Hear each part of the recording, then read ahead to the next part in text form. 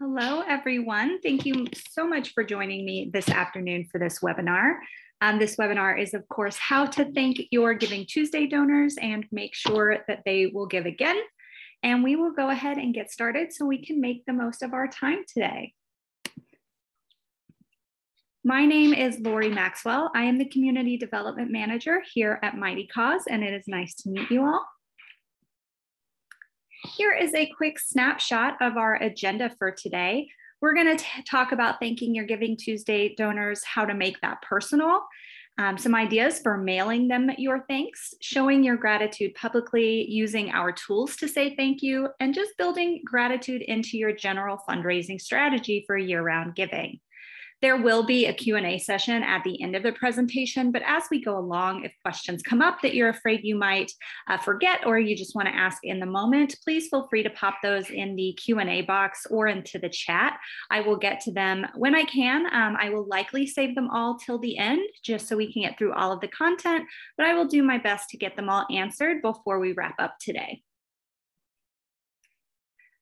a little bit about Mightycause, um, who we are. We have been around since 2006, and we are a year-round modern all-in-one platform specifically designed for, uh, designed for nonprofits to use for online fundraising. We offer a number of different features and tools for you all to use during your fundraising, including peer-to-peer, -peer, unlimited team and event campaigns, embeddable donation tools, etc. You can see on the screen, and you are always welcome to learn more about this at mightycause.com. Some of the things that we do have to offer include um, secure donation processing that we handle ourselves, um, donation tools um, that you can use to get recurring donations. You can add offline donations. We offer some of the best peer-to-peer tools in the industry, integrations with Salesforce, MailChimp, and other um, other softwares through Zapier. So uh, really there are uh, over a thousand different softwares that we integrate with. So if you have any questions about that, again, feel welcome to um, ask. Uh, you can pop that in the Q&A or the chat. Now we're here today to specifically talk about Giving Tuesday on Mightycause. So a little bit about that event. We all probably know at this point that Giving Tuesday this year will be on Tuesday, November 30th on Mightycause. This is going to be a 27 hour fundraising event to make sure that we are accounting for nonprofits across the nation. And that will begin at midnight um, Eastern time on November 30th and end at midnight Pacific time the next day. On the Giving Tuesday website, you will also find a lot of different resources, including a free nonprofit toolkit. It's going to include social media and email templates, checklists, everything that you will need to get your Giving Tuesday campaign up and running, planned, make sure that you're ready and set up for success. There are a number of different training events that are available um, on givingtuesday.mightycause.com as well. Um, there are also these webinars that we're hosting. The recordings are available to view. So if you have missed one or you just would like to watch something again, please feel welcome to go check that out. They all should be uploaded about um, in the day or two following the webinar itself. Registration is now open at givingtuesday.mightycause.com. So if you have yet to register, um, please go there and do that now. Early giving for Giving Tuesday will start next Tuesday, the 16th. So definitely want to make sure you all have enough time to get your page up and running and everything ready to go for, for that to launch. Now, the first step in thanking your donors after Giving Tuesday is to make it personal. So we're going to take a few minutes and talk about what that means.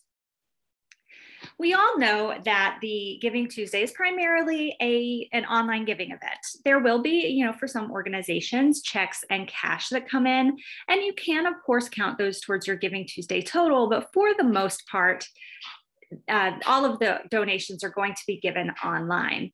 Now, it's easy especially in this day and age, it's easy for nonprofits to just kind of think, okay, if they give online, we're going to give our thanks online, and then that's the end of end of everything. That shouldn't necessarily be the case. Sending a thank you email is definitely a great place to start, but it, it should not be where the gratitude ends because thanking donors is all about building relationship. It should be part of a much bigger stewardship plan. And you can't do that with marketing emails or just emails alone. You really do have to get personal. The first idea that I'd like to float is picking up the phone. A simple one to three minute phone call can really make all the difference in donor retention and having people invest more deeply into your organization. It's really not any more complex than sending an email, and you can tap into your development staff, your volunteers, board members, really make a group that will all kind of divide and conquer, make these phone calls on your behalf. Um, and you can make that easier for, for them by providing the list of names, phone numbers, and even a script if they feel like they might not know what to say. One of the ways, um, you know, you might not have all of your donors' phone numbers in your CRM. If that's the case, you can always opt into collecting phone numbers on your Mightycause checkout flow as well, so that when they're making a donation, they do have to input that, um, that data as well. If that's something you're interested in and you're not clear on how to do that, again, please let me know or let anyone at our support team know, and we will be happy to help you with that. Just a little anecdotal story here. I was recently a part of a phone tree for this exact purpose for an organization that I volunteer for. And there were about 15 of us. I think we had about 200 donors that we were um, all calling. It took us maybe an hour and a half. We had a script and it was so much fun. We had a great time. We were there with each other, really encouraging each other. And, you know, as you can imagine, you do get voicemail quite a bit of the time, but that's where the script really becomes handy. It's easy to have a conversation that's two sided and that kind of flows organically to say thanks. You have some really interesting conversations with your donors about why they've given to your organization. You can sometimes even lead that um, or use that to find opportunities for them to get involved in different ways. But the script is really helpful for voicemails because some folks just don't feel comfortable or know exactly what to say. So again, um, this is such a great idea. If you have the, the bandwidth to do it, I highly encourage considering this. A second option, if you're unable to do the phone calls for some reason, or on top of the phone calls, if you'd like to do both, is to send a personal note. So, after a big campaign like Giving Tuesday, or really any fundraising campaign that your organization has, sending a personal thank you is a really great way to make donors feel appreciated. And again, to start building that relationship with them. That's really what this is about. You want to get your donors to recognize that you recognize them and you want to start a relationship that's going to be long lasting and that has them coming back to support you time and time again. Now, the personal note can be done over email, but a handwritten note really adds that extra personal touch that can make a huge difference to donor difference to donors. The personal note can be done surprisingly quickly. It can also be done for the most part ahead of time. You can pre prepare a lot of the content of this note and then just kind of go in after the fact to add specific details about that donor and what they have given to your fundraising efforts. This can also be done in the phone tree style where you have a number of different people who are writing notes themselves. So maybe you've got 10 board members and you're going to divide the list up between all of them. Maybe your executive director wants to get on board and you can have all of them write a different set of notes. Um, and you can even provide a script for this, just like you would for the phone calls, if that, if you feel like that would make it easier for them to know exactly what to say. Now, when do you send the personal note? So as a best practice, you want to keep your thank you note separate from your receipt. The receipt is automatic from Mightycause. So anytime somebody gives on your online fundraising platform through our Giving Tuesday, they're going to automatically receive their receipt right after completing their um, donation. You don't have to send an additional receipt. After that, they will have everything they need for tax purposes. Um, but you can you can add a customized message to that receipt on our platform as well. Biggest piece to remember though is that thank yous are reaching out in gratitude. This isn't, thank yous are not completing a transaction. And that's what the receipt is, right? So you want your thank you note to be separate from the receipt. So you want to send a personal note after a fundraising campaign, such as Giving Tuesday. Uh, you might also do it at the end of the year or around winter holidays. Maybe you want to do it as well when a donor sets up a recurring donation or on the anniversary of a donor's first donation. The most important thing is that you have identified benchmarks in place so that you don't miss anyone and no one falls through the cracks. You can have, you know, a kind of twofold um, method to this, where after a big, big campaign like Giving Tuesday, Maybe you want to do all of those at once so you make sure that you're getting them done and you're not forgetting anyone. And then throughout the year, maybe you do it quarterly or maybe you for new donors or, you know, however that works out for you all bandwidth wise to make sure that, again, you're not letting anyone fall through the cracks and everyone is receiving that personal attention um, that, you know, you want all of your donors to receive. Another thing that you can do is to mail them your thanks. You know, I, have been talking a lot right now about the digital space. And of course, we all do know that that's how most of this campaign is going to be run. But the the reason you should consider physical mail or hard copy mail is because the average person is going to receive over 100 emails per day. You know, um, like on my phone, I have four different email accounts on my cell phone. I receive so many emails a day. It's easy to overlook things. Also, sometimes things get sent to a spam folder or get filtered out for some reason. So, sending a thank you through the mail can really help you avoid those things. Make sure that you're getting your donors are getting eyes on your thanks and it'll be something also that's a lot more memorable to them. One thing to consider uh, for a physical mailer is a welcome packet. So, a hallmark of a good fundraising program is really making your donors feel like they are a part of an exclusive club. A welcome packet is a really great way to do that, um, especially for first time donors to your organization who really deserve that extra attention to make sure that you are, you know, they want to feel seen by you. This is how you can do that for them a welcome packet is really great as well because you know a lot of donors are going to choose to give to your organization because they identify with your mission. Your mission is really important to them. So I, the example i have here you know if, if you identify or someone identifies as a person who cares deeply about the well-being of children maybe they're going to focus their giving their charitable giving to nonprofits that help children. Items and materials that make them feel like they're a part of a group um, of, of, people that feel, you know, the same way, that care deeply about the same things. It's going to make them feel seen. It's going to make them feel like they're a part of a community, and it's really going to get them invested further into your mission and the work that you're doing. Welcome packets can include educational materials, information about your programs, even a small tchotchke or token, um, just something to let them know that you are grateful. It doesn't need to be elaborate or expensive. Some nonprofits work with local businesses. I'm sure you've seen a lot of these things keychains, bumper stickers, really anything. Uh, one of the, I think, more I've seen a lot recently are the little um, pop top things for the back of people's cell phones, really anything that is branded that is recognizable as being a part of your organization is a great idea to add into the welcome packet. Um, if you have that personal note that you're having your executive director or board members write, this is a great place to go ahead and pop that in as well. If you want to send it separately, you certainly can, but you can include it in the welcome packet too. Um, some examples of tokens of appreciation that aren't necessarily um, something that would cause or that would be a financial burden to you as an organization are to, to get things that or to have people create things that are going to let your donors connect on an emotional level. I've added a couple of examples here that I've actually seen used in real life, and they are always incredibly successful. People love them.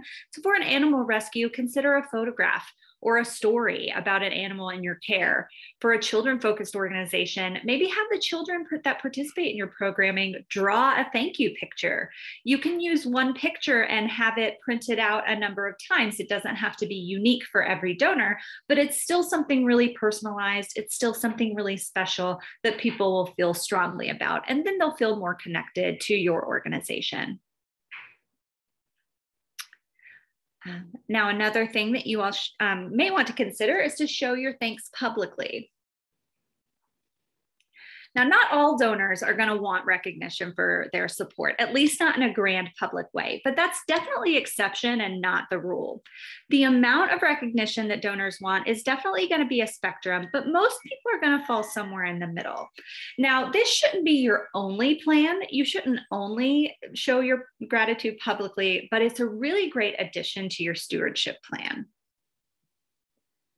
where you may want to consider acknowledging your donors is A, in your newsletter. Um, maybe that's printed um, most of the time nowadays. Of course, it's digital, but either one of those are a great place to start. If you have a physical location for your organization, consider a donor wall in your building or lobby or just somewhere visible to people who are coming into your space and, you know, this can be something that you can put up and take down yourself. Very easy to print out lists and little circles or bubbles that have people's names in them. You can even create um, tiers if you'd like to, you know, kind of recognize your major donors in a different way. It's completely up to you all how you, again, kind of comes down to bandwidth, but however you all feel like is best to recognize your donors um, in that way. You can also have a section specifically for donor recognition on your website. And one of the more common things that we see nowadays is recognizing and acknowledging your donors on social media.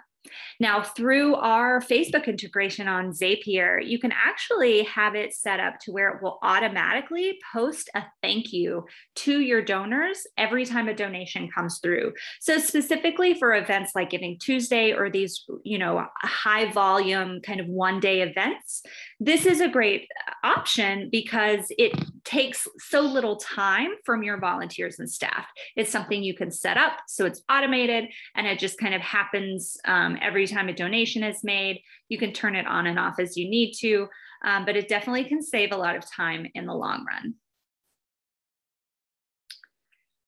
Another place that a lot of organizations will acknowledge their donors is in the annual report.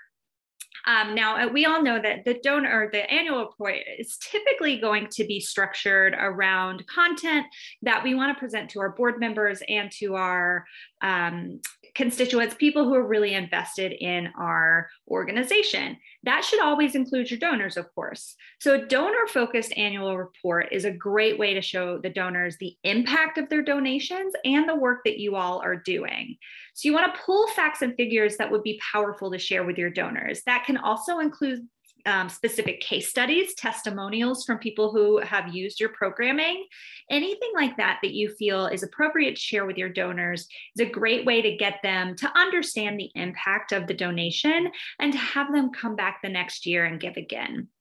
If you print your annual reports, dedicate some space to listing your donors. Give them a shout out, emphasize all that they made possible with their donations that year if a printed annual report is you know too expensive it's a little cost prohibitive um, consider a digital report. Um, i think those are perfectly fine. You can include it in your digital newsletter at the end of the year if that's something that you do. Um, but either way i think it's important to make it accessible and um, maybe even have it for download on your website Now, Mightycause has a number of tools that will make it easy for you to say thank you as well. Um, I know that as part of, of, our Giving Tuesday campaign this year, one of the requirements for approval um, of your registration is that you customize the thank you page on your Mightycause organizations page. So, how do you do that? On the left hand side of your dashboard, there will be a checkout section in your checkout section, you'll see I have it circled here. There is a thank you page option. After making a donation, donors are automatically taken to the thank you page that is going to contain the customized message that you build for your nonprofit. You're able to add links, images, all kinds of things, including a call to action button that will link to any page you choose. You can make it link out to your Mightycause page, for your website, a blog, your Facebook page, really anywhere that you want to send people, you can absolutely add a call to action button there. Um, so, again, I know this is part of the um, requirement for this year. So, likely a lot of you have already um, completed this. However, if you do have any questions lingering about how to do this or how to make it um, really pop, please let me know. I'm happy to answer that for you. Some additional thank you tools that we have on Mightycause. I already mentioned earlier, we do have receipt customization. Also, that's found in the uh, same checkout flow that we looked at just a second ago for your thank you page. You'll have the opportunity to add a customized message that will be included in the tax receipt that your donors receive. I believe that this is up to 5,000 characters, so you've got plenty of space to really get in there and let them know how thankful you are for their donation. You can also integrate with your email tools. So if you use MailChimp, Constant Contact, um, any number of different email communication tools, we can integrate with them so that you can set that up and have automated emails go out. Maybe you want each donor to receive an email from your executive director right after they make a donation on Giving Tuesday. We can set that up through our integrations to make that happen. Another thing to consider is to offer unique donor experiences to specific donors as they come in um, you know, some of the time, especially in stewardship, you're really trying to identify folks who are interested in having a deeper relationship with your organization. Maybe that will be a major donor, maybe that will be a potential board member, high level volunteer. There are any number of reasons that you might identify someone as being, you know, maybe someone who's going to get more involved than um, your average donor for those people, consider offering unique experiences so that they can really see your programming or your work up close. Maybe there are some highly sought after volunteer opportunities. Um, I had a, a, an animal rescue recently. We were talking about this exact thing, and they said, "Oh, well, that would definitely be cuddling with the puppies because everyone wants to everyone wants to cuddle with puppies, right?" So um, think about that. Think about what volunteer opportunities always fill up right away, immediately. Those are probably your highly sought after ones, um, maybe consider holding a few spots in there for the donors that you really want to get in the door so that you can have a deeper conversation with them. Maybe offer some tours of your facilities with staff or board members um, as the tour guides. Again, just trying to deepen that conversation, really get people invested in the work so that they'll continue to return. You also want to make sure that you're showing the impact. So, storytelling is really important for fundraising at the beginning. You really want to know people why they should choose to donate to your organization above the rest, right? But you want to continue to tell the story of your organization after they make it after they make a donation as well. Let them know how the funds are going to be used. After the fact show them how they were used. Let them see the progress that you all are making in your work directly tied to the donations that they have made. Um, as long as donors are able to see what the organization has been able to accomplish and they can feel very strongly and have a visual representation of how their donation made an impact, they're much more likely to return year after year. You also want to just build gratitude into your fundraising strategy in general. So this, um, you know, not only just applies to Giving Tuesday, but definitely for your year-round fundraising as well. Thanking and appreciating donors is essential to donor retention. So, if you want people to keep coming back, you have to make sure they feel appreciated. It costs less to retain an existing donor than it does to acquire a new one. So, your time, money, and effort is very well spent um, thanking your donors and making sure that they feel appreciated. Fundraising plan really is not going to be complete without thanking your donors. So you want to make sure you're building it into your organization's fundraising operations. Get your staff and volunteers involved. You know, a lot of small organizations won't necessarily have a large number of people that are dedicated to fundraising or dedicated to development gratitude doesn't it doesn't live in a silo of development. Gratitude should be spread across the board getting everybody involved. There's no reason that your programming staff couldn't make those phone calls as well right? So get everybody involved let everybody have those conversations with the donors. And think about it like this as well. Your programming staff might have a, lot of great storytelling to offer to your donors, right? They might know more about the day to day. They might just have more anecdotal experience to be able to pull up in conversation when they're talking to your donors. So, getting everyone involved is key. Some keys to thanking your donors that we've kind of hit on throughout this presentation. You want to make it a priority. Definitely want to make it just a part of the routine and have processes and resources in place ahead of time to streamline the process. Donors that feel appreciated and valued are going to be much more likely to stick with your organization for the long haul and to continue to come back year after year to support your fundraising um, efforts. I'm going to go ahead and open it up now to questions. Um, please feel free, again, there's the Q&A and a chat box. You are welcome to ask any questions in there and I will answer them as they come in.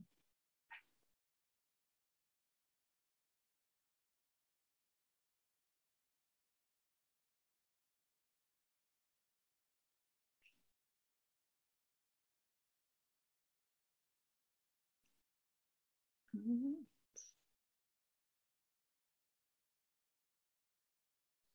Okay, I'm going to assume that means I did a fantastic job. Um, and I'm thank you all for your time today. As I mentioned before, this recording will be up on the website in the next day or two. So feel welcome to revisit if you need to, or share this with um, any of the rest of your, your team if you feel like it would be helpful. And I hope you all have a great Giving Tuesday and uh, good luck. Thanks so much. Have a great afternoon, everyone.